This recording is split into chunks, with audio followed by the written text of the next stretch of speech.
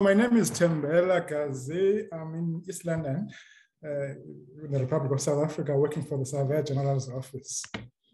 Um, the office is, is, is, responsible for the demarcation of land for registration purposes in the deeds office. Uh, it's one of those that I inherited from our past.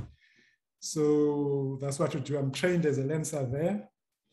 Uh, so we basically are mandated to look at surveys of land within the Republic. The course was useful in me, was it broadens my perspective, because in my field, we're very narrow in approach. We look at uh, land rights as in surveyed and demarcated land rights registered in a deeds office, whereas land rights are much broader than that. Uh, you've got customary rights, which are in their nature quite secure in certain instances, but they're not necessarily having the same kind of legal protection as the other rights. So the main thing that I've learned is that you know customary rights are just as secure and needs to be more secured in terms of the law. But in addition, in the course, we also the other part that I enjoyed the most was the issue of natural resource management and the influence of extractive industry on the land rights of residents uh, within the broader African context. I think that was very important for me.